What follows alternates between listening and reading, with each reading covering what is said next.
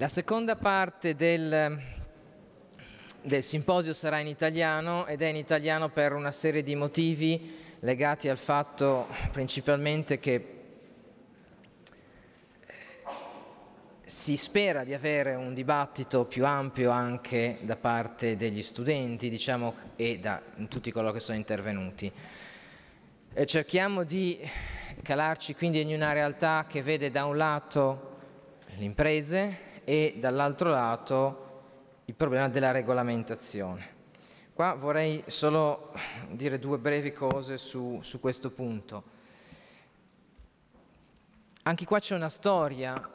La data protection in Italia ha una storia recente, tutto sommato, perché solo nel 96 abbiamo avuto una regolamentazione italiana sulla materia e quindi noi forse più che altro paese patiamo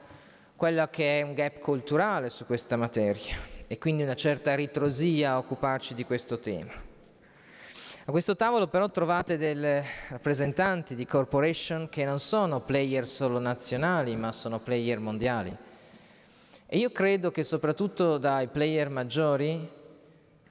provenga un diverso approccio e mi sembra di vedere che sempre più venga colto questo valore competitivo della data protection. Io mi ero occupato di questo e mi fa piacere che poi anche più recentemente anche Garante Europeo se ne sia occupato un pochino. Cioè cogliere quello che diceva, poi non l'ho inventato io, lo diceva Stefano Rodotà nei suoi primissimi eh, convegno che fece al, all'autorità garante, cioè l'idea di vedere la, la privacy, la data protection non come un limite, un onere, un costo, ma un beneficio. Credo che anche la dottoressa Palumbo ricordi da costi a benefici quel convegno che si fece a Roma molti anni fa ormai. Ebbene,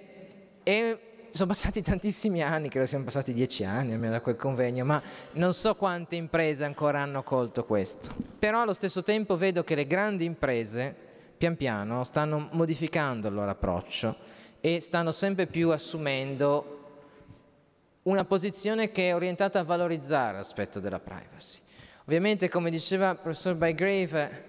la privacy è un diritto fondamentale. Ecco, io non credo che le corporation lo facciano necessariamente per amore dei diritti fondamentali, lo fanno perché la privacy è una richiesta che viene dalla società.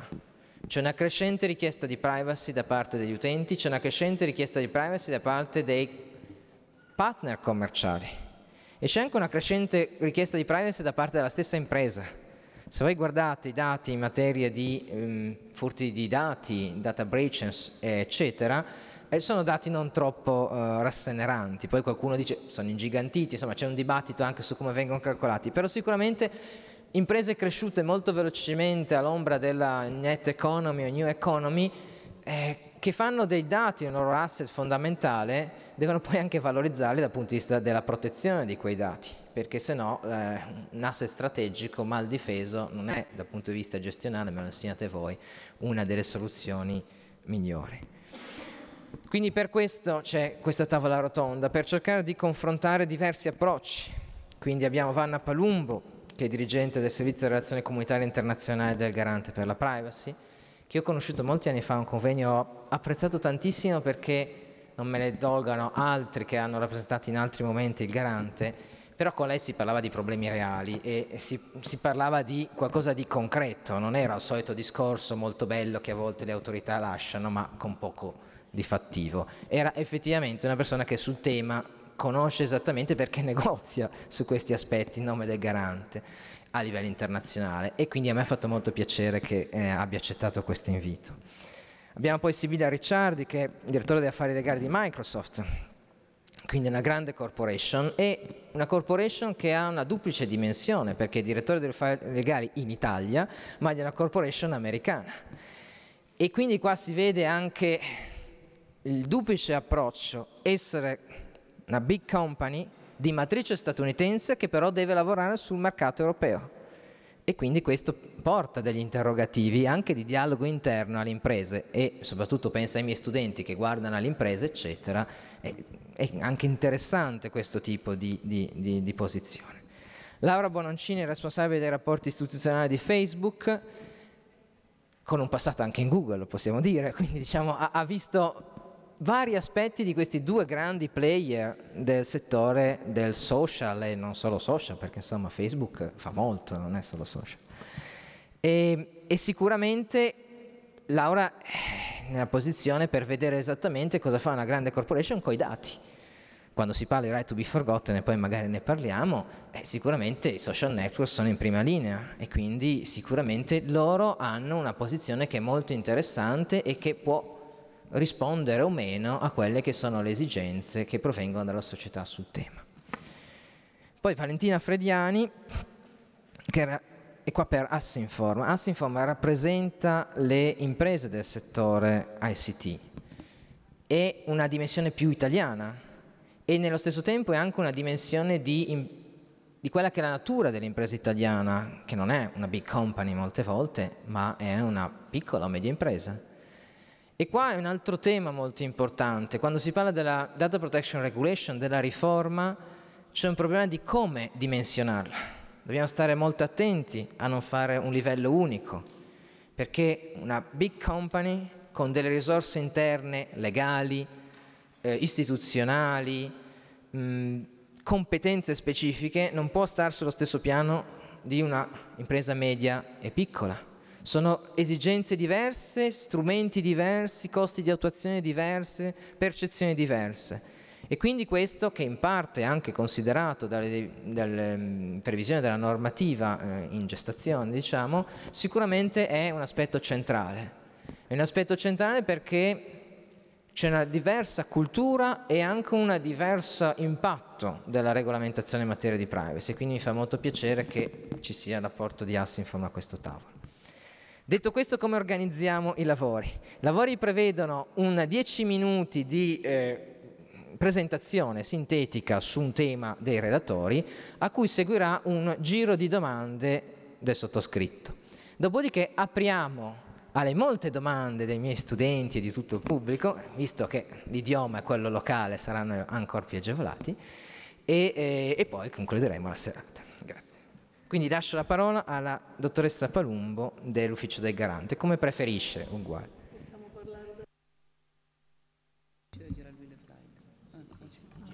Allora, buonasera a tutti, parlo dal, parlo dal, tavolo anche se sono in posizione un po' più in bassa, bassa rispetto a voi. Eh, buonasera, intanto ringrazio per questo convegno e per essere qui e, e vorrei usare questo breve spazio per puntualizzare o comunque per chiarire alcuni aspetti di questa riforma che forse sono eh, meno, meno, chiari al momento. Quindi voi, voi tutti sapete che si è tentato ambiziosamente con la direttiva del 95 di creare un quadro armonizzato di principi validi per gli Stati dell'Unione Europea è che la direttiva era finalizzata al potenziamento del mercato interno, quindi un meccanismo che creava un supporto anche alle imprese europee per renderle concorrenziali riuscire a scambiare i dati eh, tra, senza barriere tra gli Stati membri e quindi creare un meccanismo in cui c'era la protezione dei dati e il libero flusso delle informazioni. Eh, questa direttiva è stata implementata dai vari paesi in tempi molto lunghi e con disposizioni differenziate nella, nel tempo eh, ma anche nello spazio e nei contenuti. Eh, basta considerare che per i nuovi paesi che sono entrati dal 2004 faceva parte dell'acquis comunitario, quindi sono state adottate a scatola chiusa queste norme nessuno di noi sa veramente qual è la situazione in questi paesi, questo a beneficio della registrazione. Fatto sta che, che poi la direttiva ha, ha introdotto, eh, elaborando sulla Convenzione del Consiglio d'Europa che risaliva all'81, una serie di principi fondamentali, principi fondamentali che si reggono intorno alla possibilità di mantenere il controllo sui propri dati, quindi siccome i dati personali tendono a diventare una merce, con la diffusione della, dell'automazione dei trattamenti, della miniaturizzazione, delle capacità di storage infinite che, che sono, si sono sviluppate in, in, questi anni, chiaramente ognuno di noi lascia multiple tracce in ogni passaggio che fa. E queste tracce si sommano e rimangono una specie di memoria perenne al di là della nostra stessa memoria, quindi io non mi ricordo magari cosa ho fatto ieri o, o sei mesi fa, ci sarà la macchina che saprà più di me, più di quanto io possa ricordare ed è pronta ad usarlo contro di me. E quindi mantenere il controllo sui propri dati è un'esigenza fondamentale delle, delle, dell'individuo. Per questo poi la, la, Carta del 2000 ha, in, ha, identificato questo come un nuovo diritto, quindi non bastava la privacy, il diritto di essere lasciato tranquillo, di non avere interferenze in,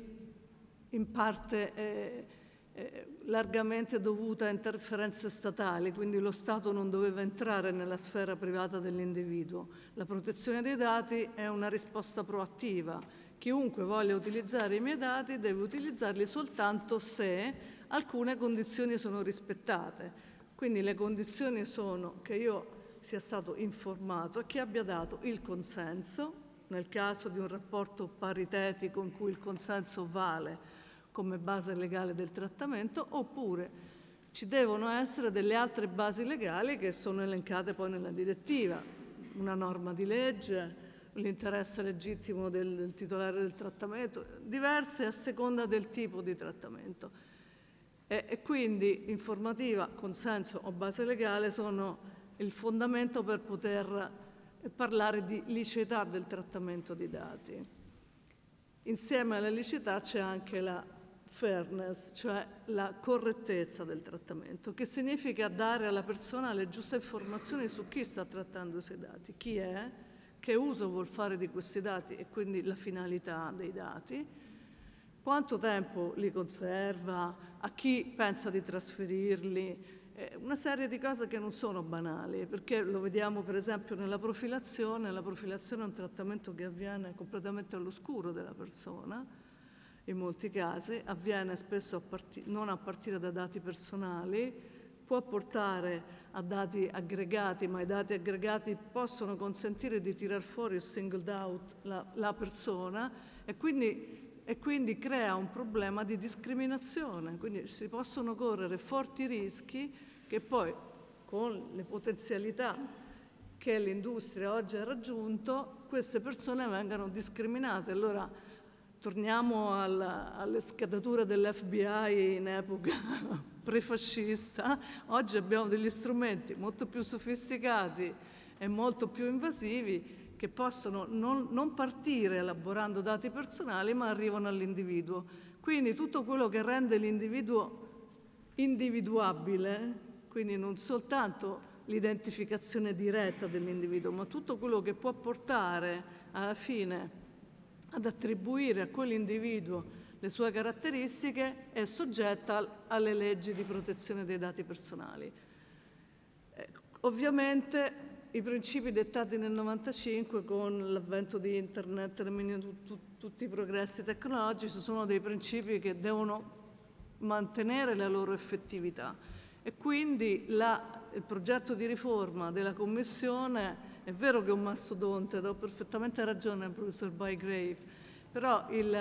l'intento della riforma era quella di ehm, stimolare una applicazione uniforme dei principi, quindi avere una legge valida per tutti, senza variazioni nazionali, ma, ma, con obbligo nazionale di applicare gli stessi principi, una sulla Corte che decide, la Corte di giustizia europea, una buona, un'effettiva supervisione delle autorità di protezione dati che dovevano avere in base alla, alla riforma, eh, dovranno avere, speriamo, appunto,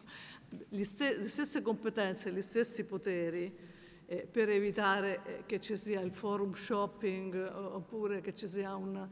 una, una, forma di scelta del paese dove l'autorità è più debole, i principi sono più laschi per mettere la sede della società e da lì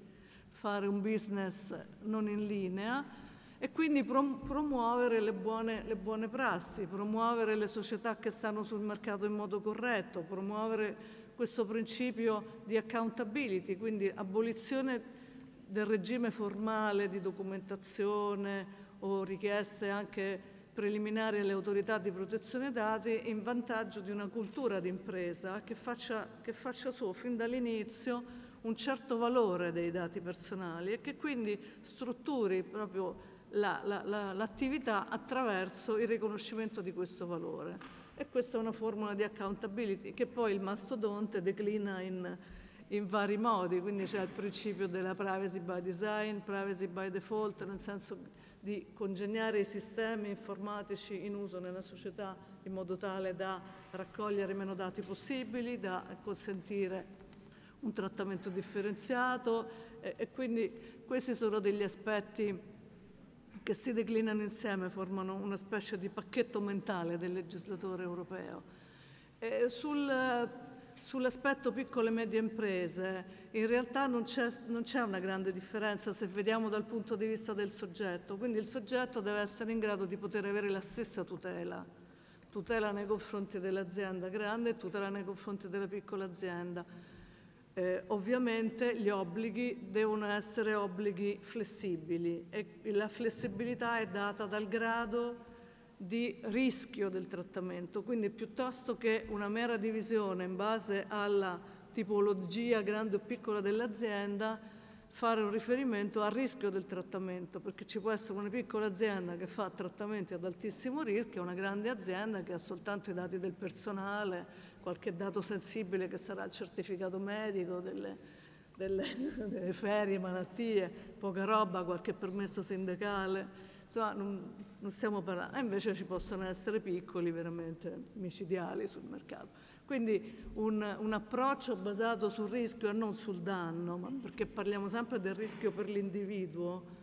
è un approccio che sta entrando nel, nel regolamento e quindi la, la, presidenza italiana che in questo semestre tra l'altro sta guidando i lavori del Consiglio ha portato un documento su, su questo risk-based approach che è, stato, che è stato approvato e quindi il Consiglio dell'Unione Europea ha raggiunto un accordo di massima su questo titolo 4 del, del regolamento che consente di vedere un po' più chiaro anche il ruolo del, di strumenti come codice di condotta, le certificazioni, proprio in chiave di dimostrazione dell'accountability della, della, non so se sto sforando, ci siamo. Una, quindi se sommando, som, diciamo, per som, fare un sommario di, del, dell'intento del legislatore comunitario, quindi è tener conto delle sfide, rafforzare i diritti delle persone, quindi renderli effettivi nonostante l'evoluzione, ehm,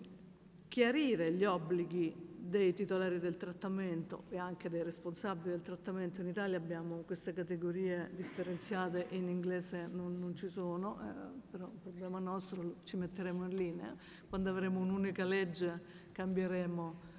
tipo di denominazione quindi obblighi più chiari, non obblighi formali ma obblighi sostanziali, cultura d'impresa che fa presente queste cose e una forte supervisione, poi, quindi strumenti forti di controllo della compliance di, di, degli imprenditori e delle società che... Poi non è soltanto le società perché il regolamento si occupa anche del settore pubblico, come se ne occupava la direttiva, quindi è tutto il settore che era già coperto dalla direttiva, ora viene coperto dal regolamento e, e ci, sono, eh, ci, sono, problemi eh, di differenziazione del campo di applicazione rispetto alla direttiva che, che si eh, eh applicherebbe alle attività della polizia e delle attività del giudiziario con eh, problemi sul dove mettere ordine e sicurezza pubblica, lo trattiamo nel regolamento piuttosto che nella direttiva, e le, e le conseguenze nel senso che abbiamo avuto, a parte i casi della sorveglianza, a noti a tutti, le rivelazioni Snowden, però abbiamo la famosa sentenza che ha annullato la direttiva sulla data retention, che ha detto che quella raccolta di dati era indiscriminata, massiva e non corrispondeva al, agli standard di protezione dati. E quindi in questo caso occorre normare i rapporti tra società che raccolgono i dati per fini di fornitura di un servizio o commerciali o quant'altro e poi l'uso da parte delle forze dell'ordine di quei dati, cosa che nel regolamento e nella direttiva non c'è. Quindi si tratta poi di creare una norma per coprire questo gap, che è un gap piuttosto importante. E qui mi taccio per il momento. grazie. Tante grazie.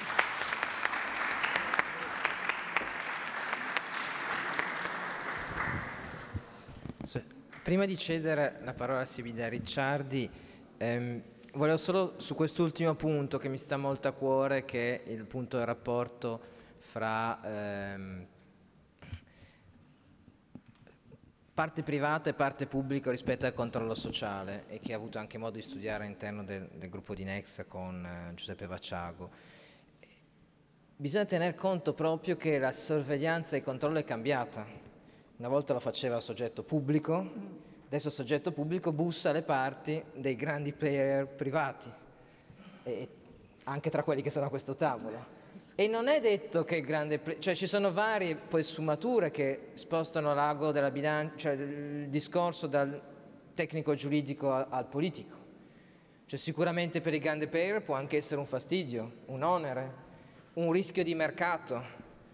Microsoft ha fatto causa contro il proprio governo su un tema molto delicato, una cosa un po' strana verrebbe da dire se la, la vedessimo con gli occhi di dieci anni fa magari, no?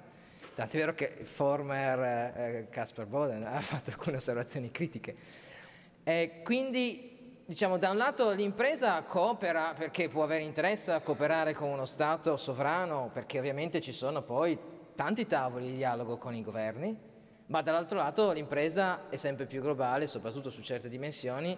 e non si sente forse più legata a un solo Stato e forse capisce che le logiche di mercato in termini di richiesta degli utenti, di desiderio di privacy, protezione, quindi di possibili anche scelte commerciali, eh, forse portano anche a dover mettere dei paletti a questo tipo di ingerenza e quindi è un tema molto molto interessante. Se posso an- anticipare, visto che chiamato in causa Microsoft. Microsoft ha fatto una causa contro il governo americano proprio per tutelare i dati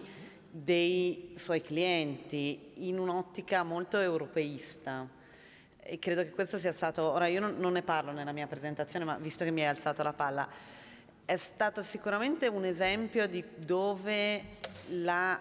privacy ha cambiato un pochino il paradigma tra gli Stati Uniti, paese dove stanno le multinazionali e che detta le regole, e l'Europa è proprio un, cambio radicale perché nel, nel caso di specie il governo americano chiedeva l'accesso dei dati che risiedevano a Dublino senza voler fare eh, una rogatoria internazionale perché dicevano voi siete americani e quindi questi dati ce li dovete dare, non, non ci interessa dove sono ehm, stored. E la risposta di Microsoft è stata quella del dire no, perché voi state andando al di là di quella che è la vostra giurisdizione. Quindi la nostra volontà era di uniformarci alla richiesta del governo americano, ma nell'ambito di quelli che sono i trattati internazionali e quindi applicando la normativa. E visto che invece ci è stato risposto grazie di questa informazione, ma noi i dati li vogliamo lo stesso, abbiamo fatto un ricorso e la storia non è ancora finita. Allora, beh, intanto buongiorno a tutti, scusate ho iniziato un po' a gamba tesa. E innanzitutto volevo ringraziare il professor Mantelero che io invece ho conosciuto proprio facendo una lezione al Politecnico su suo invito parlando di cloud eh, un po' di anni fa dove rimasi colpita finalmente di trovare qualcuno che parlava di cloud e sapeva di che cosa si parlava facendo il giurista che, perché di solito tutti confondono molto con outsourcing e ancora c'è chi parla di questo. E sono poi molto contenta invece anche di avere entrato la dottoressa perché le cose che ha detto oggi secondo me sono molto in linea con quello che è il nostro pensiero, che è un pensiero di apertura in cui per forza le istituzioni, il legislatore devono parlare con le aziende e le aziende rendersi disponibili. E questo è un po' il messaggio mio di oggi. Eh, ho messo questa citazione perché credo che in un futuro che per forza sarà un futuro data driven, Forzatamente dobbiamo avere delle nuove regole perché ad oggi non abbiamo delle normative adeguate alla tecnologia. E questa forzatura ci mette oggi nella posizione un po' privilegiata di poter settare delle regole, privilegiata perché potremo farle bene e sperare che quindi il mastodonte diventi una farfalla e porti a dei risultati, ora questa forse è una speranza un po' troppo ottimista, però sia un inizio di quella strada e, e dall'altro lato invece corriamo il grossissimo rischio di, di, sbagliare, di trovare nuovamente delle regole che poi non portino allo sviluppo e non portino in realtà a, a, ad utilizzare il potenziale tecnologico che c'è. Io credo che voi come categoria, appunto, voi siete tecnici, tra virgolette, come ingegneri, avete secondo me la grandissima possibilità di capire che attraverso il diritto si possono fare moltissime cose. Io credo che uno dei grandi successi di Microsoft sia proprio dovuto al papà di Bill Gates, che facendo il giurista ha saputo individuare delle modalità di licenza che si sono mostrate vincenti. E quindi uno stimolo che vi do è imparate, come noi, noi giuristi dobbiamo imparare a conoscere la tecnologia, perché se no non andiamo da nessuna parte, anche voi state attenti al mondo delle norme perché possono darvi dei grandi vantaggi competitivi. E questo, poi ne, ne ritorneremo su questo tema. Su, su diciamo, il mastodonte di oggi vediamo un sacco di sistemi che eh, già sono noti, ora non so voi se avete familiarità con queste cose, ma queste sono un po' le cose in questo momento più in dibattito eh, su che, quali sono le forme migliori di tutela, forme che vanno tutte nella direzione di trovare eh, una soluzione tra il diritto che è by default legato a una questione territoriale e, un mondo tecnologico in cui invece la questione territoriale è senza dubbio eh, non rilevante perché proprio la potenza e la forza della tecnologia è quella di eh, non avere queste barriere. Il dibattito però è molto europeo, almeno se noi guardiamo questi modelli sono i modelli nostri, sono i modelli europei, il modello americano, anche Safe Harbor appunto è, è proprio il, il, mm, diciamo, il concordato che hanno trovato Stati Uniti e Europa per avere un trasferimento di dati. Però il futuro non è questo, il futuro non è un mondo dove c'è l'Europa e ci sono gli Stati Uniti, il futuro è un mondo in cui la penetrazione di Internet eh, sarà, su, si presuppone nel 2025, all'85% della popolazione e se voi guardate il, i due grossi cambiamenti sono Cina e Sud America. L'India si presume che ovviamente avrà più penetrazione, però già eh, diciamo, manterrà più o meno la stessa scala. Questo su cosa ci deve far riflettere? Ci deve far riflettere sul fatto che dobbiamo anche aprire il dibattito a questi, a questi paesi, che è un dibattito difficile perché da giuristi sono degli istituti che noi non conosciamo, insomma, finché rimaniamo common law, eh, civil law, parliamo lingue diverse ma che si vengono incontro. Parlare con dei regimi politici come quello cinese, in cui comunque il, il punto di partenza, oggi eh, Alessandro a tavola di, raccontava di una domanda che gli hanno fatto in Cina e la sua risposta era io non conosco abbastanza bene il vostro assetto politico e, e secondo me è una risposta giustissima perché non, mh, almeno da, molto spesso non ci fermiamo a pensare a qual è l'assetto da cui vengono le norme, no? partiamo solo dal, dal testo normativo. E invece è una cosa che dovremmo considerare, che dovremmo considerare anche per quanto riguarda la formazione delle persone. De- degli studi che hanno, fatto, che hanno pubblicato quest'anno risulta che uno su cinque sono i laureati in materie tecnologiche nel, diciamo, nell'Occidente eh, rispetto ai mondi eh, emergenti. Questo vuol dire che noi avremo una forza lavoro e una forza di gente specializzata elevatissima che vengono invece da questi altri paesi e con cui ci dovremo confrontare. È vero che il potere economico in, in questi dieci anni rimarrà nelle mani di, dell'Occidente, eh, però è vero che ci, si dovrà iniziare a confrontare con tutto questo altro mondo, dove ci sarà comunque una grossissima specializzazione tecnica. E quindi le norme dovranno anche adeguarsi a questo. Uh, quindi qual è l'auspicio? Almeno l'auspicio mio, ma comunque credo di tutti anche delle aziende qua rappresentate, è quello di eh, avere un legislatore che sia aperto a parlare col mercato e a capire anche le technicalities, perché se delle norme sono fatte sulla base di eh, modelli giuridici sofisticatissimi, che, ma poi che non permettono una reale implementazione,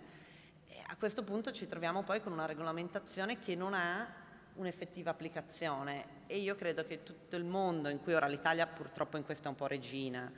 ma la forza del, della norma è il fatto che sia applicata. Una norma disapplicata è una norma da cancellare. Questo vi porto l'esempio di Singapore che ha questo principio per cui se una norma non può essere implementata loro la cancellano. Hanno provato a mettere una norma per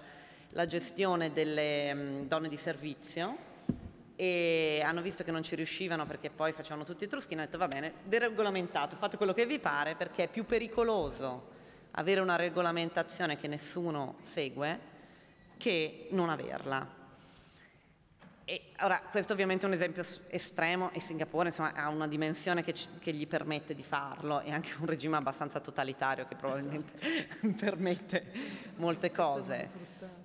Però noi siamo all'estremo opposto e anche in questo, secondo me, il legislatore dovrebbe fare una forte riflessione. Smettiamo di fare le leggi, iniziamo a prendere le leggi che abbiamo, a razionalizzarle e a trovare del, delle soluzioni vere ai problemi. Poi si può appunto dibattere a lungo su quale sia la technicalities, però se non partiamo da questo principio, un, dal primo principio che è di globalizzazione, io rimango ancora abbastanza stupida quando sento parlare di territorialità in maniera molto forte legata a queste tematiche, perché eh, se noi non capiamo che la territorialità porta solo a una chiusura, al non avere la possibilità di espandere la tecnologia, di lavorare al meglio, non riusciremo mai a trovare una quadra e i paesi che si chiudono alla fin fine sono dei paesi che sono destinati a non avere uno sviluppo tecnologico, che può anche andare bene, però di sicuro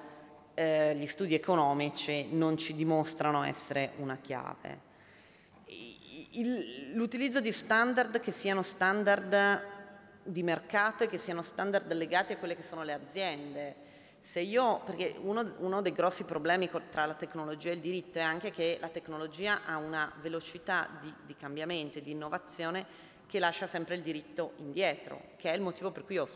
ho scelto questa tipologia di diritto, perché lo trovo una cosa bellissima, che devi sempre inseguire e trovare una quadra di un diritto che manca. Però allora forse lo standard dell'industria viene invece molto prima rispetto alla norma, quindi forse le norme dovrebbero anche recepire questo, cioè avere una flessibilità che presupponga che non siano antiche una volta che vengano emanate, perché l'iter è talmente lungo, il regolamento quando si è iniziato a parlarne sembrava granché innovativo, ad oggi eh, ci sembra un pochino a tutti dire vabbè stiamo ancora discutendo di cose che forse sono già superate eh, la collaborazione appunto tra industria, governo e anche terze parti, diritti civili, ne abbiamo parlato prima, l'uomo diventa molto più al centro di tutto questo dis- dibattito, anche perché in realtà è poi il cliente, il consumatore, il cittadino. E se non partiamo da quelle che sono le sue esigenze, anche lì rischiamo di scrivere delle norme, di mettere, di creare dei castelli che però sono dei castelli che poi non vanno a risolvere quelle che sono le esigenze vere e a volte sono addirittura controproducenti perché, ne parlavamo prima, tutti quando vengono fatti firmare i moduli per la privacy, A non li leggono, B li firmano dicendo uffa che noia. E questo secondo me è, vuol dire che l'individuo non è stato messo al centro e sicuramente non, ha, non, non gli viene dato uno strumento che gli fa pensare al perché non fa pensare che quello è un suo diritto e che se è un suo diritto esercitarlo o non esercitarlo è una scelta importante. Per cui anche questa è un'altra delle, dei grandissimi dibattiti. Il dibattito lì poi è eh, ma l'individuo è un utente o un utonto, cioè l'individuo va guidato, va forzato oppure l'individuo deve essere padrone della decisione e chi influenza la sua decisione? Questi ovviamente poi sono insomma, andiamo un po' sulla filosofia del diritto, però è sicuramente una, vuole dire, è sicuramente una delle cose cui, su cui bisogna riflettere e su cui secondo me come aziende dobbiamo riflettere. Io ho visto veramente il cambiamento, io sono, è 12 anni che lavoro in Microsoft e devo dire che il cambiamento tra i primi tempi in cui comunque noi eravamo una multinazionale americana in cui l'America faceva così e quindi si fa così, eh, adesso l'approccio è totalmente diverso. Adesso siamo in grado dall'Europa del dire se, se, non mettiamo le model clause nei nostri contratti, voi non fate i contratti in Europa perché i dati non li potete mandare a chi vi pare. E ci è voluto un anno, ma alla fin fine la corporation ha detto sì, e anzi forse questo è anche qualcosa che dà un valore ai nostri clienti e quindi da un problema è diventato un'opportunità e alla fin fine è, diventano degli elementi in cui l'attenzione verso il tuo cliente ti porta a cambiare dei paradigmi che portano però, secondo me, a, a mettere l'azienda in una situazione molto più eh, positiva rispetto al dire ma sì, chi se ne frega di questo tema. E credo che questa sia una strada che non abbiamo seguito solo noi, un po' tutta l'industria ci sta seguendo, noi forse siamo stati un po' eh, all'avanguardia nel credere in questa cosa. E mi guardi male perché sto sforando? allora, vi lascio con due citazioni. Una It's Complicated, è un libro scritto da una sociologa che casualmente lavora anche per Microsoft, ma ha fatto questa cosa non come Microsoft, ma che è molto interessante, secondo me è molto interessante per voi, perché racconta la, eh, i social network da un punto di vista sociologico nei teenager americani ed ha una chiave di lettura molto innovativa secondo me, in cui appunto non viene più demonizzato il social network, ma viene semplicemente visto come parte della vita quotidiana, non come un mondo virtuale, ma come una parte del mondo. È un libro americano, quindi è un po' ripetitivo, però è una lettura secondo me molto interessante. E un'altra cosa di cui volevo parlarvi è Snapchat. Snapchat non so se voi la conoscete, ma è una tecnologia che in America ha avuto un, una fortuna pazzesca perché fa esattamente il contrario del social network, infatti ora Facebook si sta adeguando, e vi permette di mandare dei messaggini che si autodistruggono. Quindi la foto imbarazzante ubriachi al bar che non si vuole che il proprio capo veda o la propria mamma o fidanzata, insomma quello che è, può essere mandata e sparisce. E questo prodotto ha avuto un successo pazzesco, il che dimostra anche che gli utenti iniziano ad avere un totale differente approccio alla privacy, cioè mentre all'inizio nel boom era tutto un voglio visibilità, adesso c'è molto più una coscienza che la visibilità si vuole avere con chi si vuole, non con tutto il mondo e magari in determinati contesti e non in altri. Per cui vi invito appunto a, a informarvi su questa cosa perché mi sembra un buon, un buon punto di partenza su come la tecnologia è cambiata sulla base delle esigenze poi del cliente cittadino, essere umano.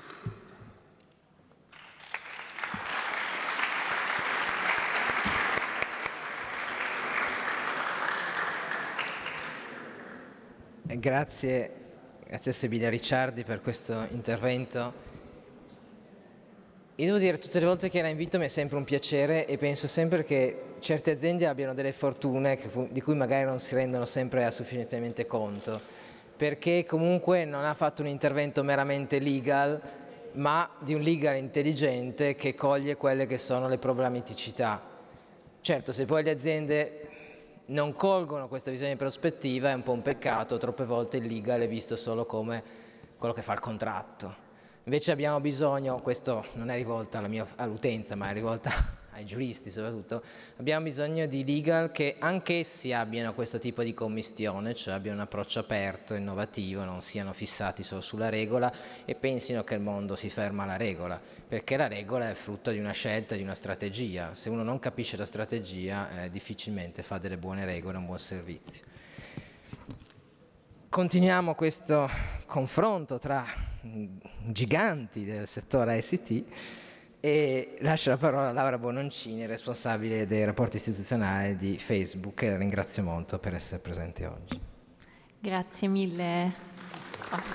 Addirittura adesso preventivamente. È l'effetto Facebook. ecco, l'applauso preventivo è un po' inquietante per me, quindi prima di tutto io sono l'unica non giurista al tavolo, quindi mi perdonerete, forse sono già scusata in anticipo. Se... Esatto, era per questo che mi avete applaudito e per questo vi ringrazio. Fantastico, cercherò di essere all'altezza. Comincio con eh, due numeri che ci caratterizzano per l'Italia, 25 milioni di persone che utilizzano eh, business di crescita, ma questo significa, e lo voglio sottolineare ed è anche il senso del mio ruolo in Facebook, una grandissima responsabilità nei confronti di questi utenti, di queste persone che utilizzano la nostra piattaforma. Eh, nel mondo questi numeri sono 1,3 miliardi e un miliardo su mobile chiaramente un mondo di persone sulla nostra piattaforma, quindi una forte responsabilità che sentiamo.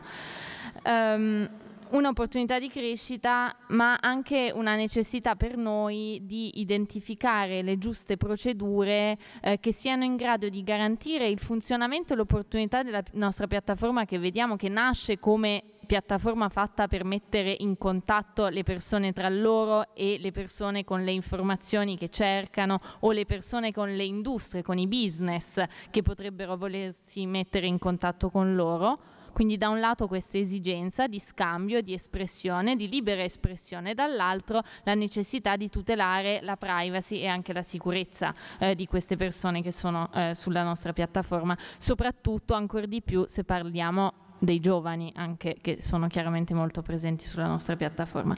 Sicuramente facciamo degli errori, ne abbiamo fatti, ne faremo, eh, sicuramente però eh, penso di poter dire e sono contento che questo ci venga anche un, un po' riconosciuto anche da, da Alessandro, eh, stiamo, stiamo migliorando, abbiamo migliorato e siamo molto orgogliosi di questi passi avanti che abbiamo fatto in termini di trasparenza e di maggiore controllo anche fornito eh, alle persone che utilizzano la nostra piattaforma. Mm, abbiamo fatto una serie di annunci in questi mesi, eh, il più recente è quello, eh, il simpatico dinosauro che molti di voi forse avranno visto apparire eh, all'interno del della piattaforma Facebook, che proprio è un modo attraverso il quale noi cerchiamo di educare direttamente le persone al fatto che ci sono un sacco di strumenti su Facebook molto facilmente accessibili che gli consentano di conoscere, di sapere che dati stanno mettendo sulla piattaforma, di sapere con chi li stanno condividendo e questo appunto privacy check si chiama, vi consente di avere una visione mh, complessiva della vostra eh, presenza sul social network, con chi state condividendo i vostri post, quali sono le app che state utilizzando e che tipo di informazioni state fornendo alle app, quali sono le informazioni che voi avete messo sul vostro profilo e che sono visibili a tutti, anche quelli che non sono i vostri eh, amici sul social network. Questo è un esempio. Quindi una responsabilità e, e passi avanti eh, sui quali lavoriamo molto in termini di trasparenza. Privacy la privacy by design, un altro concetto che porta avanti ogni creazione di nuovo servizio eh, da parte di Facebook, lo so, sono coinvolta anch'io in una serie di call, quindi anche anche noi europei siamo coinvolti nelle call attraverso le quali si discutono i nuovi servizi che saranno lanciati, anche noi che facciamo rapporti istituzionali, naturalmente i legali, naturalmente gli ingegneri, quindi una verifica sempre basata sulle conseguenze eh, che potrà avere questo servizio e su cosa, sugli accorgimenti necessari eh, in materia di privacy. Eh, quindi diceva la dottoressa Palumbo, eh, in macchine che potranno usare informazioni su di me e che, eh, che potranno eh, usare queste informazioni contro di me in realtà oserei dire no, ma no, non perché siamo buoni e non vogliamo fare i buoni, anzi io voglio fare la buona, però in generale non vogliamo fare i buoni, ma semplicemente perché come diceva anche prima Alessandro è, nostro, è diventato un obiettivo di business per tutta la categoria, noi dobbiamo tutelare i nostri utenti, dobbiamo farli sentire sicuri perché se no semplicemente se ne andranno da qualcun altro. Quindi questo è un concetto molto basilare ma che è veramente fondamentale per noi. Parliamo del regolamento, chiaramente anche noi e soprattutto i miei colleghi eh, a Bruxelles hanno seguito da, da molto vicino eh, appunto eh, la, la, discussione in me merito alla bozza di regolamento in corso a Bruxelles, eh, proprio perché eh, di base come società multinazionale eh, siamo assolutamente convinti della necessità e dell'opportunità di un set di regole uniche per tutti eh, i paesi eh, europei. Eh, dal, punto, dal, nostro punto di vista, come dicevo anche prima, è fondamentale che ogni, di, ogni normativa di questo tipo, eh, quindi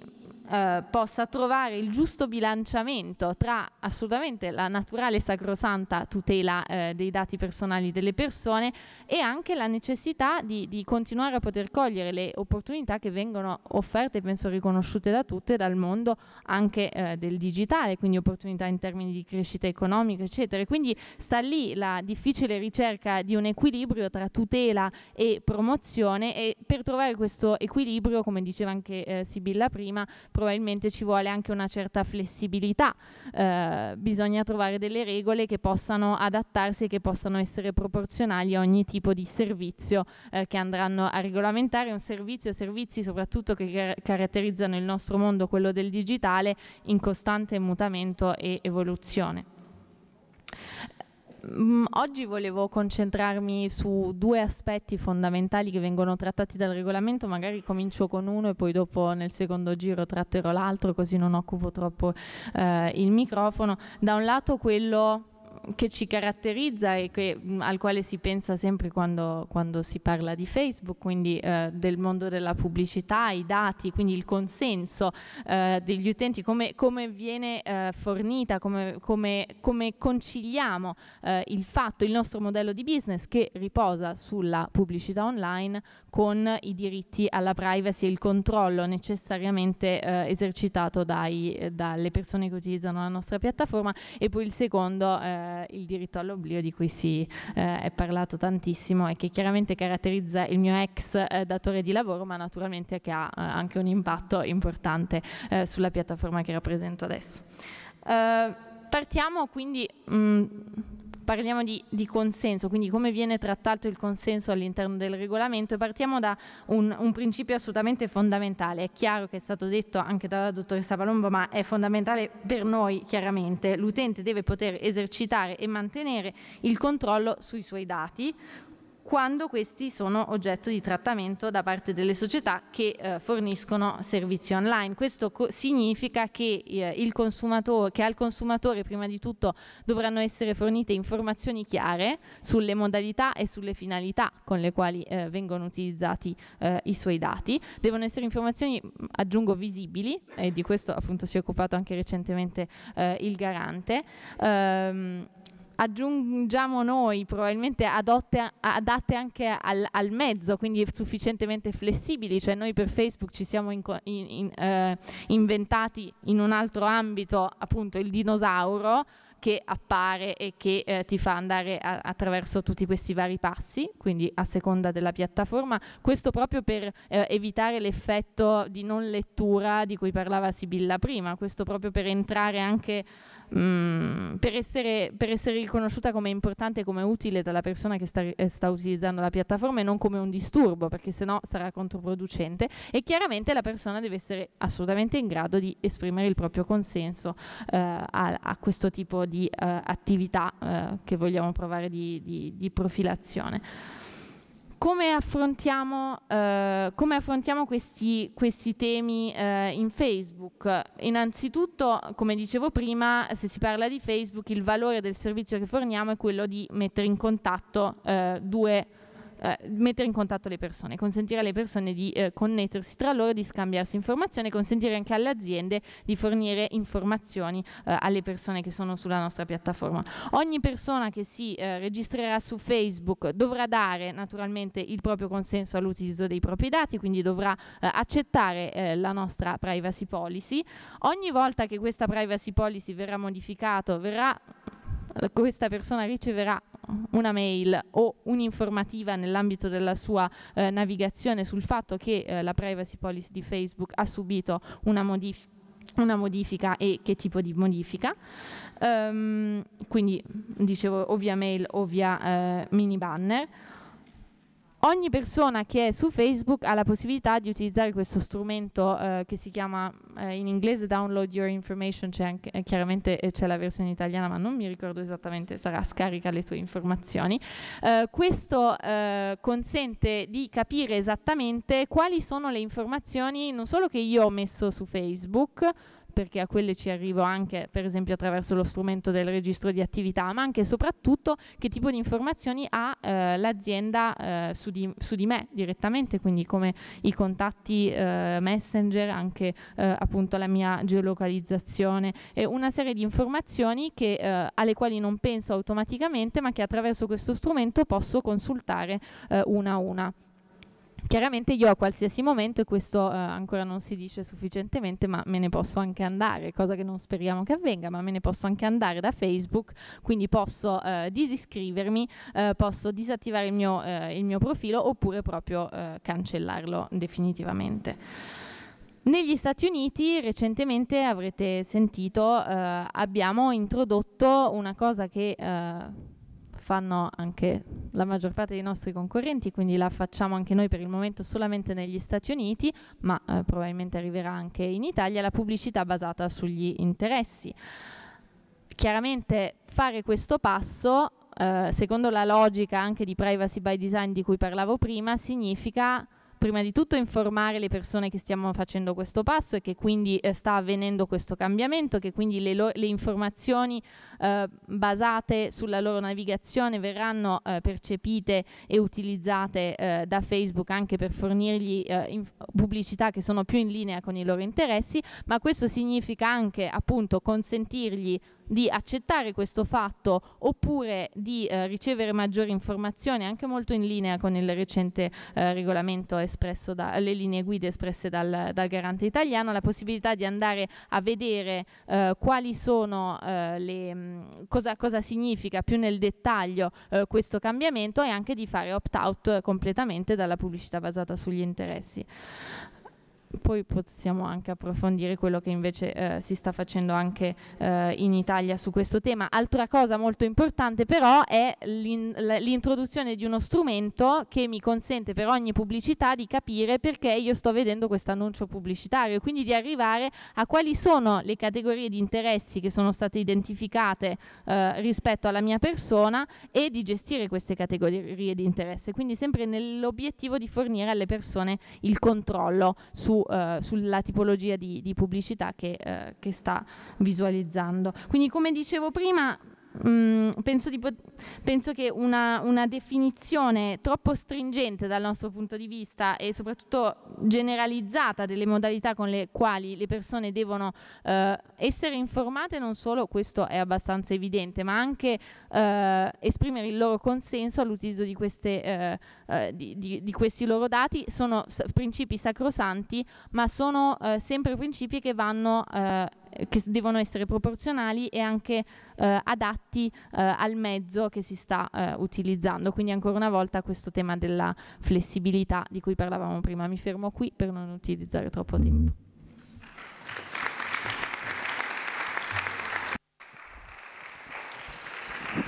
Molte grazie. E, diciamo, il tuo intervento mi faceva in mente quello che ha scritto Ryan Calo, eh, Visual Notice cioè l'idea di superare il modello dell'informativa tradizionale, ma di arrivare a un'informativa che sia attraverso l'esperienza. Poi Calo non la definisce troppo nel suo paper, perché ancora diciamo, però l'idea che molte volte, ad esempio vedendo cosa si può fare con i tuoi dati, vedendo se io lascio questo dato, che picture, che cosa emerge, una simulazione, tu capisci molto di più che in un altro modo, un po' come quando passatemi l'esempio, ma dico più che altro per gli studenti, che magari eh, quando tu vedi un, un, crash test di una macchina, poi capisci che forse mettere la cintura di sicurezza ha un senso. Ecco. Eh, non deve essere per forza una cosa così di impatto emotivo, tipo la pubblicità all'inglese, eccetera. Però a Visceral Notice dice, se io, le, io non leggo l'informativa tradizionale, però se mi fai vedere una simulazione di quello che succede se quel dato lo lascio libero o aperto, forse lo capisco e forse decido più consapevolmente, che non vuol dire, anche qua un punto secondo me interessante, data protection è proteggere, non chiudere i dati, cioè lasciare all'utente la sua autonomia di scegliere se quel dato lo vuole condividere o no in piena consapevolezza. Non vuol dire i dati nessuno li può toccare, bisogna fare del paternalismo e quindi il tuo dato te lo devi tenere nascosto. Ecco. L'ultimo relatore di questo primo giro di tavoli, poi a beneficio dei miei studenti che saranno stanchi, dirò che il secondo giro faremo magari un pochino più breve, mi spiace un po' per i relatori, però capisco un po' le esigenze vista l'ora. L'ultima relatrice è Valentina Frediani, mm, che porta la posizione italiana, direi, delle imprese italiane del settore IT. E, e anche questo è molto importante, molto importante perché appunto dobbiamo ragionare su diverse... Eh, è vero quello che diceva eh, la dottoressa Palumbo, non è solo una questione di scala, e di, dipende cosa fai con i dati, però è anche una questione di scala, nel senso dal punto di vista culturale, dal punto di vista dei mezzi, ehm, noi abbiamo delle start-up molto piccole che fanno cose magari molto addentro nei dati, però no, non, a volte non è che non vogliano investire in quello, proprio non lo capiscono, non hanno proprio la percezione del problema, quindi eh, è ancora un discorso diverso, secondo me. Ecco.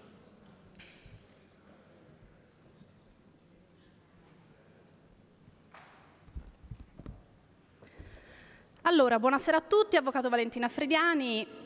io ho fondato nel 2002 consulente legale informatico.it e è un po' l'anno in cui ho iniziato a lavorare, eravamo ancora sotto la 675, io mi occupo di diritto delle nuove tecnologie e privacy e quindi posso dire di essere cresciuta professionalmente con la normativa in materia di privacy. Io stasera porto un punto di vista che è quello di Assinform. Assinform è un'associazione che rappresenta il comparto italiano nell'ambito delle aziende che operano nell'ICT porto questo punto di vista e vedrete che i punti sono dei punti che io ho individuato personalmente a tavolino con chi rappresenta anche l'associazione nei vari eh, gruppi di lavoro, in particolare security e privacy, dove peraltro eh, Sibilla Ricciardi ha, ha, lanciato il gruppo all'interno, all'interno di Assinform, però lo porto con una visione duplice, cioè sì Assinform, le aziende ICT dall'altra, poi per il tipo di lavoro che faccio, essendo un legale che opera nelle aziende solo, non solo che svolgono attività ICT, ma aziende che svolgono qualsiasi tipo di attività, è chiaro che porto anche un punto di vista eh, del business che subisce o attinge rispetto a questo regolamento perché consumer bisogna parlare sì dell'utente finale ma bisogna parlare poi anche dei riflessi che nel business ha il regolamento europeo. Intanto io penso e spero che voi abbiate letto la bozza del regolamento europeo e quindi, bene o male, abbiate un'impressione in linea generale, no, non lo voglio sapere. Eh, vi posso dire che eh, invece può essere, non dico un'esperienza entusiasmante, però sicuramente potrebbe arricchire la percezione reale di quello che è il concetto di privacy anche per andare a fare dei confronti. Allora, intanto io la prima volta che ho letto il regolamento europeo eh, ho focalizzato immediatamente una, una, sensazione lavorando nel settore, da consulente che vive di questo, ma dall'altra parte paga anche lo scotto del malessere delle aziende nel dover subire, tra virgolette, l'imposizione normativa di tutto quello che la normativa privacy porta, anche a livello di investimenti. La prima impressione è che il regolamento europeo si concentri maggiormente sulla parte relativa alla sicurezza, abbandoni molto quella centralità della, del documentale che oggi oggi con la normativa privacy abbiamo in Italia e vada un po' più sulla parte sostanziale. È una prima impressione importante, poi andando a spuntare, a leggere eh, le, le, varie specifiche, ancora stiamo parlando di una bozza, eh, si sono un, un, po' succedute varie sensazioni. Intanto occorre partire da un assunto. In Italia abbiamo un problema enorme sia nell'ambito eh, delle aziende ICT che nelle altre aziende. La sicurezza è vista costantemente come un costo e non vuole entrare nella testa degli imprenditori che la sicurezza deve diventare un valore aggiunto punto, deve diventare un elemento di competitività voi eh, vi state affacciando, vi affaccerete a breve nel mondo del lavoro, bisogna portare più concretezza. Eh, prima c'è stata un'osservazione, giustamente Alessandro ha detto le norme devono essere mh, lette in un modo un po' come un vantaggio, no? devono, io sono di questo avviso, un po' caratterialmente il bicchiere va visto mezzo pieno, ma poi perché alla fine bisogna dare una lettura anche equilibrata di quelli che sono gli obblighi. Quando nel 2004 è uscita la legge sulla privacy che imponeva delle misure di sicurezza eh, adottare delle credenziali di autenticazione minimo 8 caratteri, eh, adottare dei sistemi anti-intrusione, adottare dei sistemi di backup per il ripristino dei dati, le aziende ne sono uscite sconvolte. Oggi le possiamo considerare delle misure banali che qualsiasi, tra un po' casalinga, che abbia un sistema, appunto utilizzi i social o altro, va ad adottare. Perché? Perché c'è una crescita da questo punto di vista. C'è una crescita e dall'altra però bisogna ragionare anche dal punto di vista delle aziende, perché ci sono degli investimenti da fare. Allora, sicuramente oggi la percezione del concetto di sicurezza informatica da parte delle aziende è estremamente carente, ma non è un qualcosa di isolato solo legato alla sicurezza, è il fatto che gran parte delle aziende soprattutto quelle medio-piccole, ma l'Italia è fatta di queste aziende sia nell'ambito ICT che non, ehm, percepiscono sostanzialmente ancora la figura dell'ICT manager interno o dell'azienda prestatore di servizi esterni nell'ambito informatico solo come uno strumento di lavoro. Un po' il PC non mi funziona, la rete va lenta, in realtà l'ICT deve entrare nelle strategie di business delle aziende e prima le aziende lo capiranno fanno, prima riusciranno non solo a sopravvivere ma a svilupparsi in un ambiente eh, economico molto difficoltoso. Prima parlavi delle, delle start-up, quello che, che, tu dici, io mi trovo spesso davanti a delle idee geniali dove da ultimo e per forza, ma in via casu casuale sono venuti dal, dal legale o comunque hanno avuto una percezione che forse qualche aspetto legale incidentalmente li riguardasse e sono venuti fuori non solo dei rischi legati all'immissione sul mercato, ma magari che hanno vanificato anche lo sforzo di sviluppo del prodotto su cui si basa la startup, semplicemente perché non si è lanciato il concetto inizialmente di dire ma vogliamo magari verificare in parallelo l'aspetto normativo. Io su questo ci, eh, dalle mie parti, io sono toscana, si sente, si dice ci pigio molto, mi batto molto per questo aspetto perché bisogna evolversi. Io ho apprezzato molto l'intervento del rettore perché è la prima volta che sento in una sede eh, come la vostra universitaria portare avanti un concetto di trasversalità, il fatto di sapere dove attingere, non importa, onniscienti non siamo nessuno. Io mi occupo da 12 anni di diritto delle nuove tecnologie, ho delle conoscenze in ambito tecnologico, bisogna avere l'umiltà in molte riunioni, chiedo all'ICT manager di che diavolo stiamo parlando, perché la tecnologia va avanti, perché poi c'è un utilizzo delle espressioni, gli informatici sono fantastici, che eh, no, non sempre diciamo, possono essere prese direttamente da chi fa l'avvocato, da chi eh, agisce in ambito giuridico, ma bisogna anche avere l'umiltà di prendere come riferimento dei soggetti che magari possano aiutarci a contribuire a sviluppare quelle che sono le strategie legate all'ambito ICT. Dicevo, le statistiche in ambito eh, di attacchi alla sicurezza ci dovrebbero dare una motivazione maggiore per le aziende per applicare e recepire anche l'ambito del regolamento europeo, l'aumento dell'utilizzo dei social e poi ovviamente eh, c'è una carenza di politica di sicurezza informatica che possa andare a riconciliare le imprese col consumer, perché la, l, i costi in ambito di sicurezza sono sempre visti come un gravame dove non c'è mai uno sguardo alla tutela dell'utente finale, eppure la prima domanda che io faccio a quell'amministratore l'amministratore delegato quando mi siedo e mi dice vabbè via avvocato vediamo come ce la possiamo smarcare questa normativa privacy col minor impatto possibile. E la prima domanda è vogliamo parlare di dati come patrimonio aziendale anziché solo dati visti da un punto di vista della privacy. Vogliamo allargare la visione e capire che i dati di un consumatore finale piuttosto che in un rapporto di business to business non solo sono il nome e cognome o una profilazione, ma costituiscono il tuo pane quotidiano sul quale andare a realizzare e estendere la tua attività. Cerchiamo di avere una visione un pochino più alta da questo punto di vista. Eh, è molto importante quindi, e nel regolamento lo abbiamo, l'introduzione di quelli che sono i concetti privacy by design e by default perché c'è una valorizzazione di quella che è la sicurezza informatica da un punto di vista sostanziale. Poi c'è un'altra introduzione molto importante, quella della figura del data privacy officer come figura di riferimento garante interno all'azienda di quella che è la riconciliazione tra la realtà aziendale da un punto di vista di sicurezza e l'obbligo normativo. E poi la redazione di un privacy impact assessment, cioè una documentazione interna che dia anche una continuità storica e di scelta rispetto a quelle che sono state individuate come misure di sicurezza anche in progress all'interno dell'azienda stessa. Quindi eh, dal punto di vista delle imprese questo regolamento può dare veramente degli input anche in maniera logica di come eh, seguire, dare un seguito a quelle che sono state le prime applicazioni rispetto al codice privacy. Però se vogliamo essere realistici ci sono ancora dei punti interrogativi.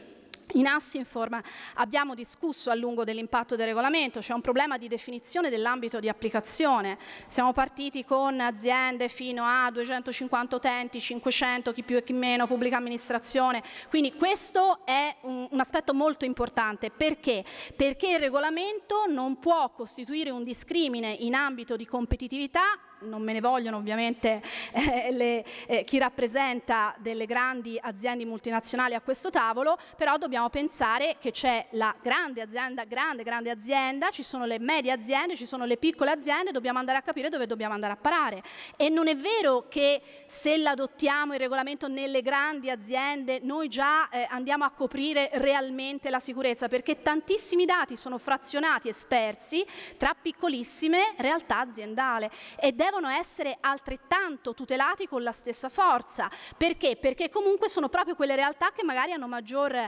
deficienze da un punto di vista di sicurezza e che sono più facilmente attaccabili e dati maggiormente carpibili e quindi è, è ovvio che devono essere in qualche modo coperte. E poi l'individuazione del data privacy officer nel regolamento ancora non è eh, vista in maniera eh, definita, certa, figura interna, figura esterna, come andarla a gestire. Ricordiamoci che c'è anche un problema gerarchico, perché qui bisogna essere pratici. Possiamo anche adottare in una grande azienda il data privacy officer, ma bisogna dare delle garanzie di indipendenza reali perché viene pagato da quella che è l'azienda stessa. Vi posso dire che con tutte le buone intenzioni, quando ci sono dei rapporti di gerarchia, eh, eh, entrano in essere anche dei meccanismi mentali per cui chiaramente si tende in qualche maniera ad andare a affrontare le tematiche in maniera smorzata. Questo non vuol dire inquadrare un data privacy officer software che abbia una rigidità, rigidità tale da non far lavorare l'azienda, ma l'elasticità deve essere una elasticità in una proiezione in qualche maniera di raggiungimento degli obiettivi e non un piegarsi a rinunciare alla sicurezza reale all'interno dell'azienda. Io ho eh, terminato, spero di avervi dato la eh, posizione esatta di Assinform, in cui chiaramente non ho potuto mancare di infilare la mia, perché per eh, questioni ovviamente eh, diciamo anche personali del supporto che sto dando in Assinform è molto importante portare alcuni concetti, non solo tra le aziende ICT ma anche a, di altro genere. E vi invito ovviamente da questo punto di vista, eh, se vi è possibile, a ridare una lettura in particolare a quegli articoli, non dico tutto perché è un malloppo così il regolamento eh, europeo, la bozza di regolamento europeo, ma quegli articoli centrali in cui si parla di sicurezza sono fondamentali perché lì si agganciano tutte le attività relative alla eh, costruzione dei processi organizzativi, alla governance, alla compliance e quindi vanno a toccare anche vari aspetti in ambito aziendale che non riguardano solo il comparto ICT, ma che riguardano tutte le varie direzioni e tutte le varie eh, funzioni operative. Bene, grazie.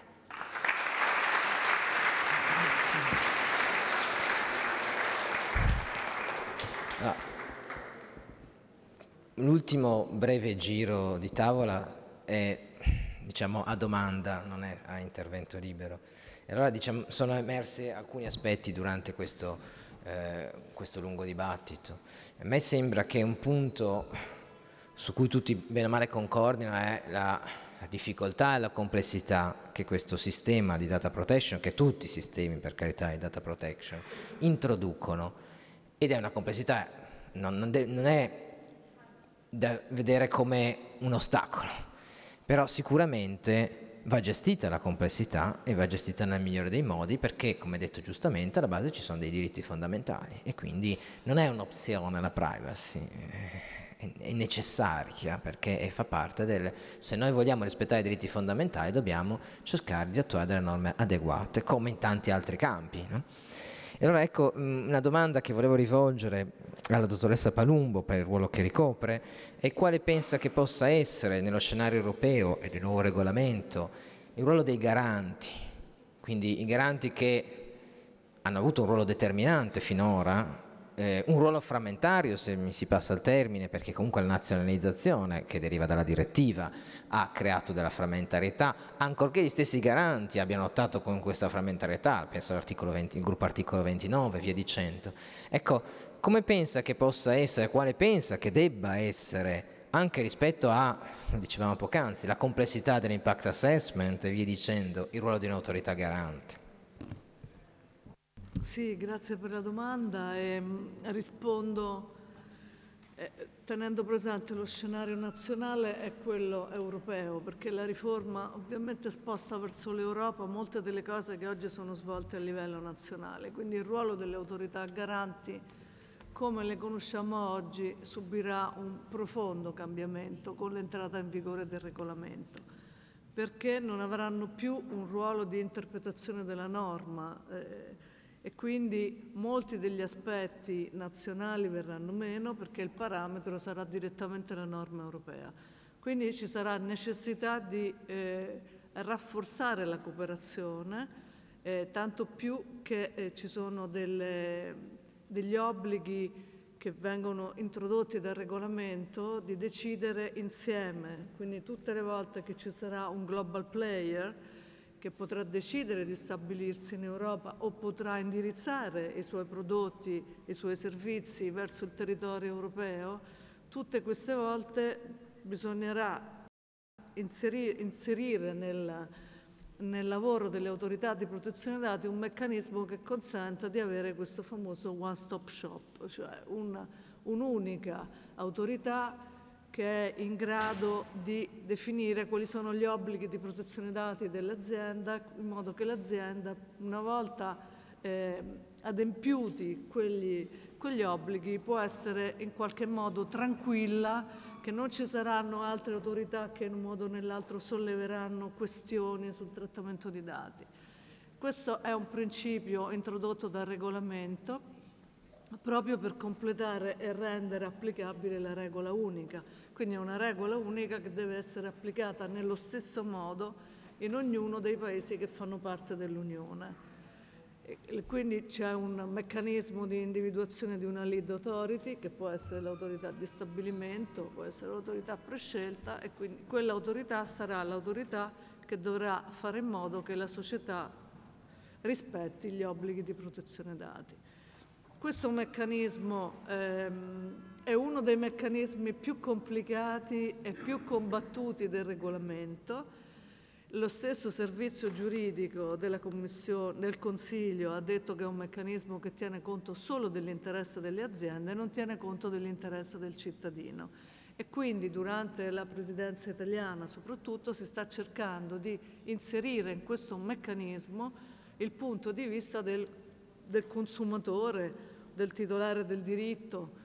eh, in modo da dare prossimità a questa persona e, e quindi di poter avere la tutela nel luogo più vicino a lui.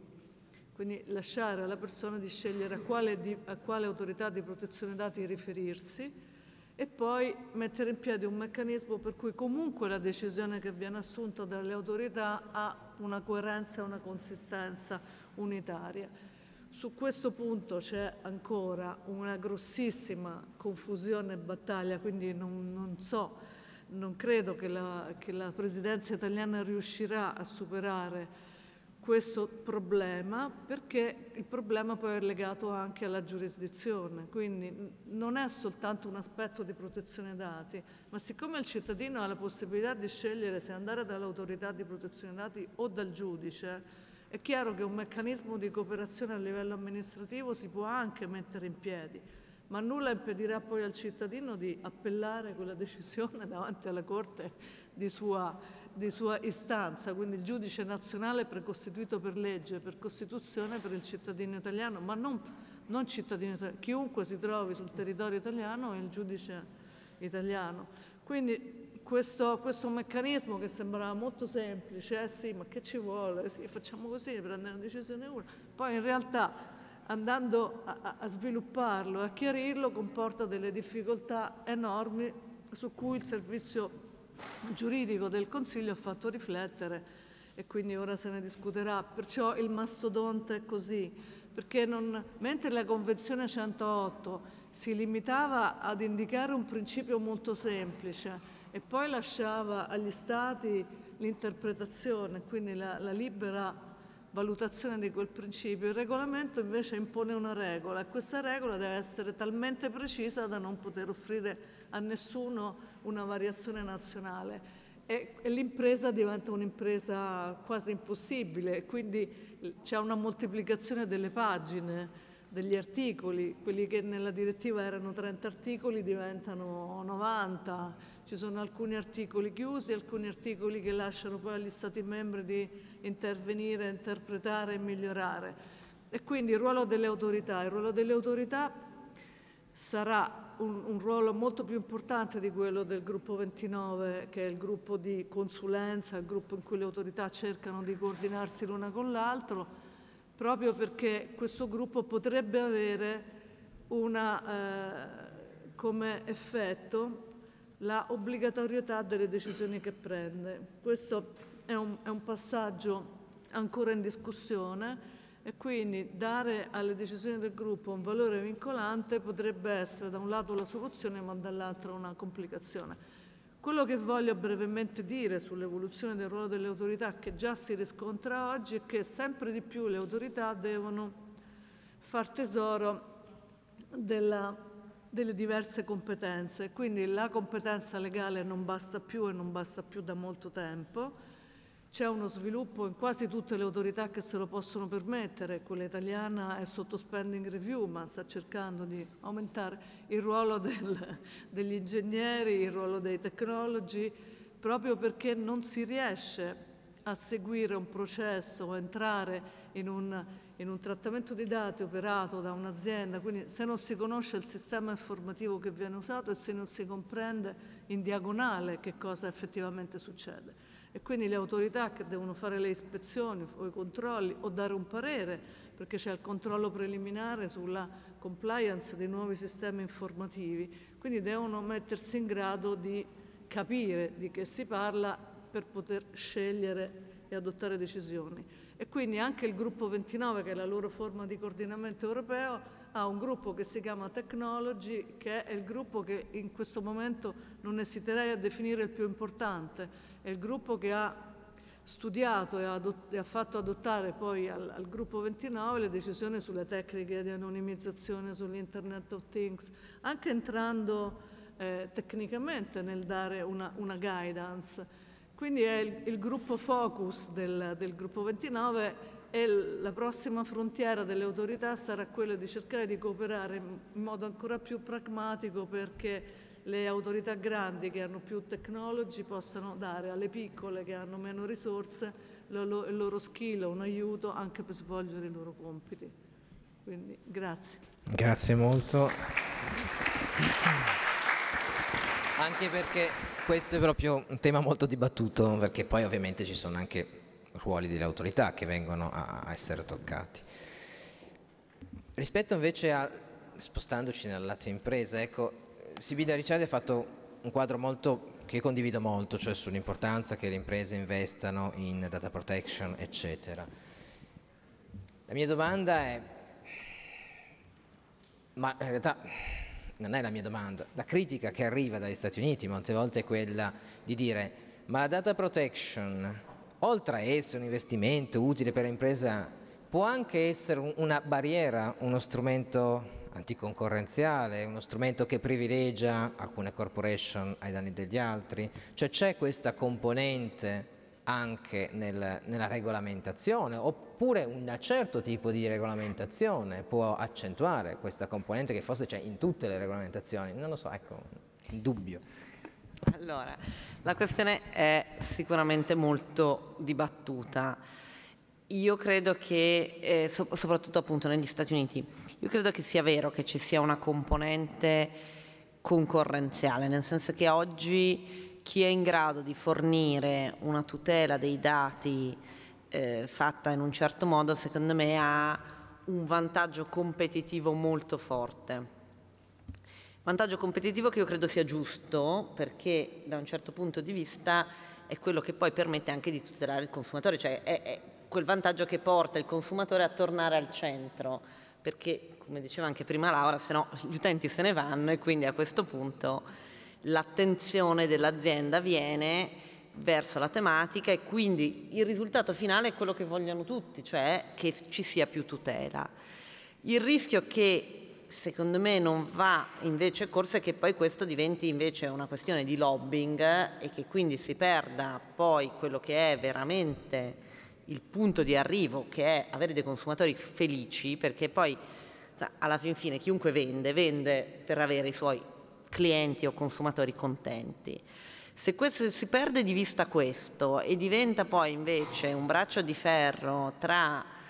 ehm, posizionamenti appunto più lobbistici che perdono però di vista il punto finale, secondo me corriamo un grosso rischio, perché poi corriamo un rischio di avere delle regolamentazioni che non hanno più senso, perché sono delle regolamentazioni spinte in delle direzioni. E so che fa, questo discorso fatto da Microsoft è peculiare, nel senso che noi siamo sempre visti un po' come quelli che poi eh, spingono in una direzione piuttosto che un'altra, ma invece credo che sia importante nella maturità di un'azienda anche capire questo. Cioè le spinte devono essere nell'interesse dell'utente finale perché se no si rischia di creare dei giochi che poi si, si spezzano. E questa maturità eh, penso che sia una maturità importante per le aziende nel mondo della tecnologia e che spero si, si diffonda sempre di più. Ovviamente il discorso in America è molto più spinto perché poi le attività sono molto più spinte. Noi per esempio abbiamo fatto una campagna che si chiamava Scroogle, che negli Stati Uniti è molto famosa, che è stato un disastro e lo, lo ammetto candidamente perché era fatta allo scopo di che è una cosa che non funziona perché tu devi fare bene perché sei tu il migliore, non perché usi i tuoi strumenti per dimostrare che qualcuno è peggio di te. E quindi so, l'input che voglio dare a voi è questo, pensate sempre, quando si pensano a queste cose, ci sono sicuramente dei grossissimi vantaggi, cioè parlo a voi come gli imprenditori del, del futuro o, de, o anche del, dell'immediato. C'è sempre un vantaggio competitivo che si può ottenere attraverso la tecnologia dando dei servizi che sono qualitativamente migliori e dei servizi che tutelano la privacy dei propri eh, utenti sono dei servizi che sono per, forzatamente qualitativamente migliori.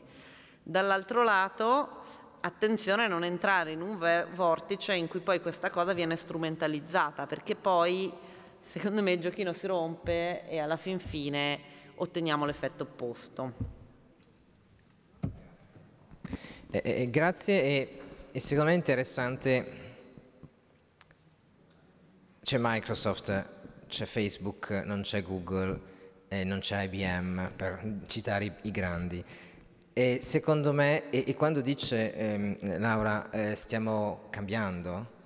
secondo me è questo un aspetto che emerge ed emerge dalla, anche se voi comparate questi diversi player, cioè l'attenzione per la privacy è anche frutto di una certa età diciamo, dell'impresa. Un'impresa che dà più tempo sul mercato, è un'impresa che ha più relazione con i consumatori, ha più relazione con i governi, ha più relazione con tutto un mondo dove il free riding, questo tipo di attività non, non vanno più bene. Possono andare bene nella tua fase iniziale perché, lo sappiamo tutti, i dati sono anche soldi e sono anche quindi sfruttamento commerciale, però poi per essere maturi e quindi per avere dei buoni contratti col pubblico o col privato, bisogna anche tener conto di quelli che sono i valori e qui il discorso competitivo. E qui anche la domanda che faccio, a, a, cioè una domanda, in realtà eh, si era già fatta da sola la domanda, cioè ci aveva promesso che avrei parlato di un tema molto rischioso per Facebook, perché ha la time, timeline, se non ricordo male, che è il diritto all'oblio. E quindi ecco, eh, ci vuoi dire qualcosa su come vedete voi questo diritto all'oblio? Io devo dire, non vi tedio, vista l'ora, ma sono d'accordo con quello che diceva Lee Bygrave, c'è molta confusione diritto all'oblio, diritto di cancellazione, right to erasure, right to be forgotten, cioè non sono la stessa cosa, vengono a volte strumentalmente confusi, compito nostro e compito delle imprese è non confondere strumentalmente, ma comunque farsi carico del problema che c'è in un certo qual modo. Sì, in effetti un tema molto complesso e appunto che eh, necessita ancora di analisi e di risposte, penso, oltre a naturalmente la, la, la decisione della, della, Corte di Giustizia che ricordiamolo tra l'altro tocca un motore di ricerca che è una realtà comunque diversa dalla nostra, anche se poi assolutamente avrà conseguenze anche mh, su operatori come noi. Uh, in realtà si pongono un sacco di, di, domande se si pensa appunto al diritto all'oblio mh, nelle sue varie definizioni. La prima cosa probabilmente sarebbe quella di, di definire eh, cos'è il diritto all'oblio e bisogna anche partire da una serie di principi barra domande per analizzare, per discutere di questo tema. Innanzitutto la natura di internet che nasce non solo il social network, ma in generale internet come eh, piattaforma, come eh, vettore di scambio eh, di informazioni, di commento, di espressione, eh, insomma, di, di, come, come, un grande strumento di espressione globale generalizzato e anche di ricerca di informazioni e di accesso a queste eh, informazioni. Poi se si va nel, nel dettaglio del cosiddetto diritto all'oblio, chi deve prendere la decisione? Quella penso che sia uno dei nodi, cioè chi è l'impresa, è Google, è Facebook, è l'impresa che ha, cioè è anche è auspicabile che un'impresa decida se è giusto che o, e quando è giusto che un'informazione che, ricordiamolo, probabilmente inizialmente era legalmente condivisa, sia ancora giusto condividerla? Dopo quanto tempo? È, è, giusto che, che sia un'impresa a deciderla, dal mio personale punto di vista no, però mm, ecco, e anche da quello del... Esatto assolutamente. E penso, infatti, avendo letto anche, siamo, penso che di questo siamo tutti d'accordo, però allora eh, chi può prendere questa decisione? E poi appunto l'aspetto che stavo sottolineando, in, importante ricordarsi che la maggior parte di queste informazioni all'inizio sono state condivise in modo legittimo, non costituivano, cioè poi ci sono casi diversi, ma non costituivano una violazione della privacy e quindi quando è che eh, diventano una violazione o diventano oggetto dell'esercizio di un diritto? Quindi a questo punto più che eh, definire una posizione si può eh, pensare a quali potrebbero essere dei principi sui quali concentrarsi eh, quando si parla di eh, diritto all'oblio e quindi quali potrebbero essere diciamo, delle linee guide da, mh, mm, da, da seguire.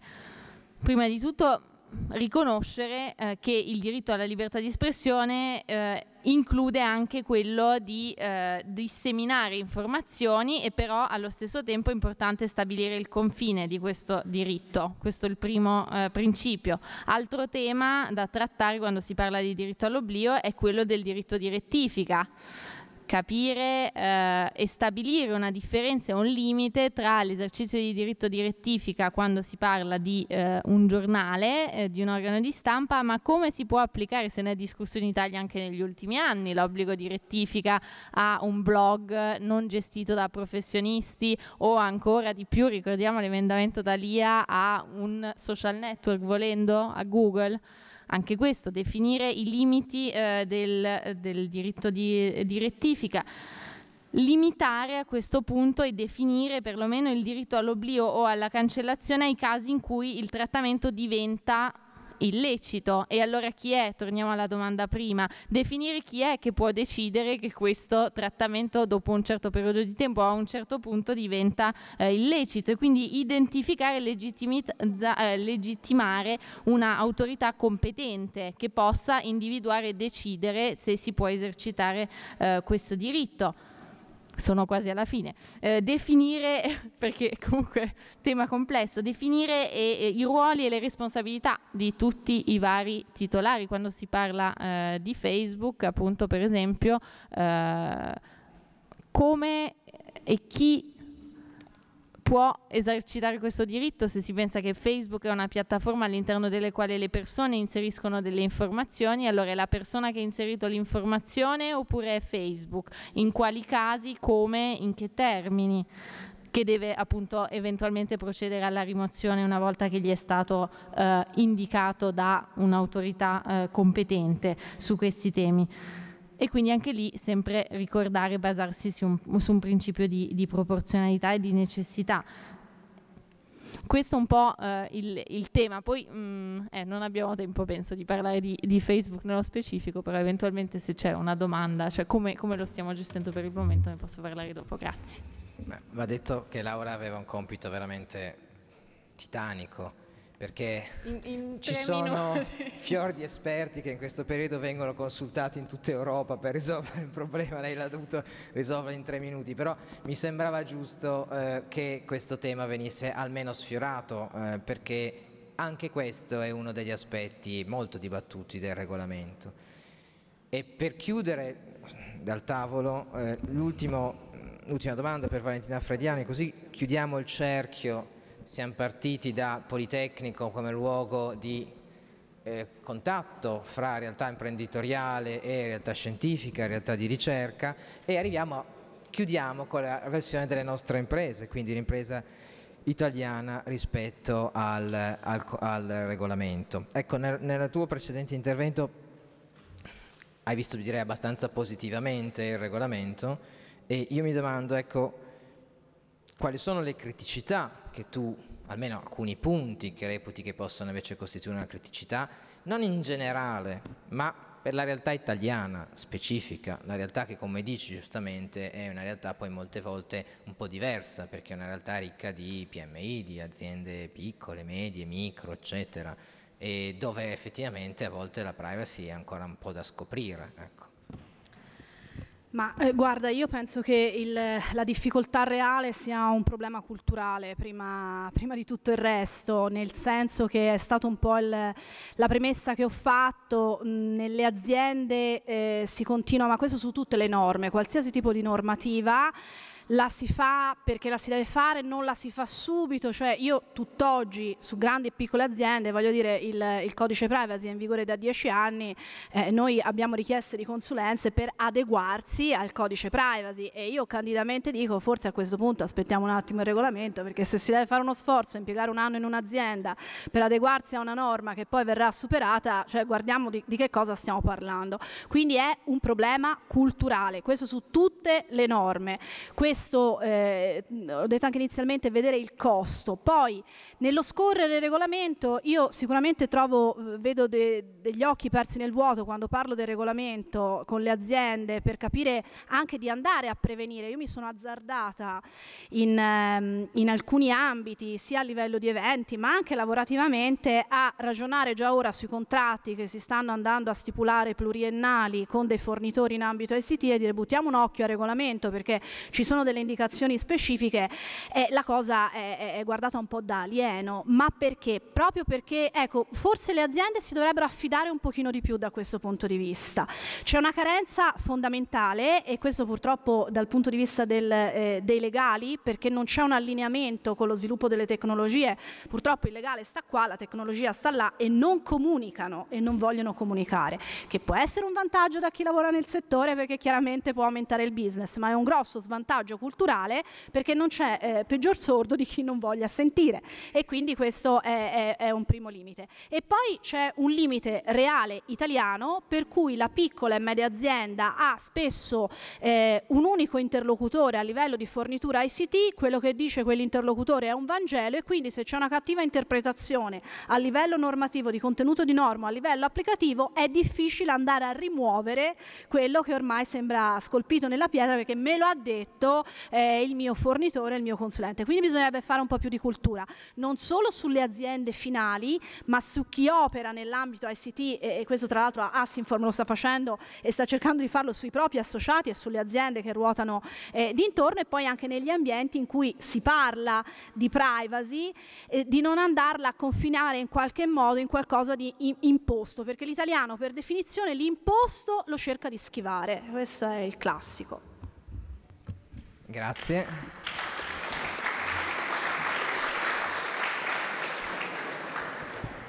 Siccome nel, nel, programma sono previste domande dal pubblico, io chiedo se il pubblico ha domande. Eh, il pubblico tace perché è stato coperto di, di, di nozioni.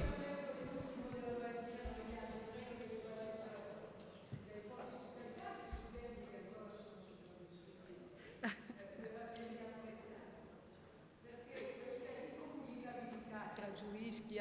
regulei e tecnici, no? che è tramandata dalle nostre università pervicacia. È vero che oggi Gilli invece ha fatto l'esaltazione di questo nostro tentativo, Politecnico è effettivamente un po' un fiore all'occhiello da questo punto di vista. Politecnico di Torino, Milano, Politecnico di, di Milano, che è tanto un'eccellenza, ha sì un corsetto di diritto, istituzioni di diritto, non si sa, dove mm. ti insegnano probabilmente che esiste il diritto. Ecco. Cioè, il Politecnico di Torino ha puntato sul corso, è vero, un corso specifico ingegneria gestionale, i cui ragazzi secondo me sono tra i migliori del Politecnico di Torino, perché anche se noi li trattiamo malissimo e gli diamo voti bassissimi, eh, sono poi ragazzi che grazie a queste ah. bastonate, ah. che, no no ma è vero, cioè, purtroppo i nostri ragazzi sono quelli laureati con le medie più basse, poi in realtà scopriamo che sono quelli che vanno in modo... Eh, che vanno molto bene, l'ha dovuto riconoscere oggi Gilli nel mondo del lavoro, proprio perché hanno, loro malgrado, no, dovuto acquisire una sorta di linguaggio e di sensibilità, perché un problema è la sensibilità. A me spiace che oggi, per esempio, dall'incubatore non sia venuto nessuno,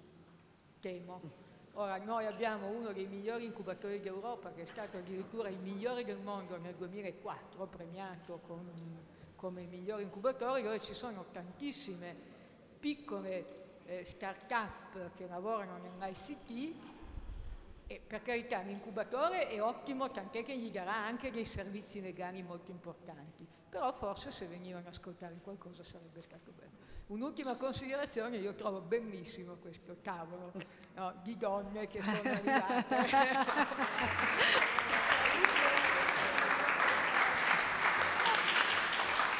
Sì, se, se mi passate un'osservazione,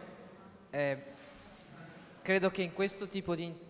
convegno, seminario, si veda anche il ruolo dell'università pubblica. Cioè, fin tanto che c'è l'università pubblica, noi riusciamo a fare questo tipo di convegni, anche se il nostro pubblico è fatto di studenti principalmente, perché né gli avvocati hanno prestato troppa attenzione, né le imprese hanno prestato troppa attenzione. Quindi quello che dovrebbe essere il nostro sì, qualcuno, però quello che dovrebbe eh, essere la nostra utenza e quella pagante di un certo modello di, di università eh, non c'è. E quindi diciamo dall'altro lato però perché non c'è? Perché forse noi parliamo di un tema troppo avanti rispetto a quella che è la sensibilità del business oggi eh, e se noi forse non avessimo un'università pubblica, un'università che si può permettere anche con sacrifici tutto sommato questo tipo di interventi, grazie anche ai rapporti con le imprese per carità che vengono gratuitamente a questi inventi, Ecco, grazie, grazie, a questo tipo di tessuto si può creare questo evento che per voi è una risorsa e che sarebbe anche una risorsa per il contesto sociale. In un altro contesto, un convegno di questo genere è a pagamento, è solo per pochi e quindi è una chiusura della cultura, è una limitazione dell'accesso. Ecco, questo è uno scenario che alcuni invocano, che io non vedo come positivo ed è una ragione per cui nonostante la certa disattenzione anche all'interno Politecnico per certi temi, continuiamo imperterriti. C'era una domanda. Buonasera, faccio coming out, sono un avvocato. Ce n'è, quantomeno volevo fare una domanda alla dottoressa Palumbo eh, che riguarda una questione un po' delicata che è a proposito del marketing e delle attività di profilazione. Ci sono servizi eh, di società web, pensiamo alla posta elettronica offerta gratuitamente, dove appunto l'utente in realtà è il prodotto eh, che eh, sfruttano i dati dell'utente per fare attività di profilazione. Queste attività mi pare possano avere oggetto anche dati sensibili. Quindi volevo capire qual è l'orientamento del garante e, e poi eventualmente il suo personale, dottoressa Palumbo.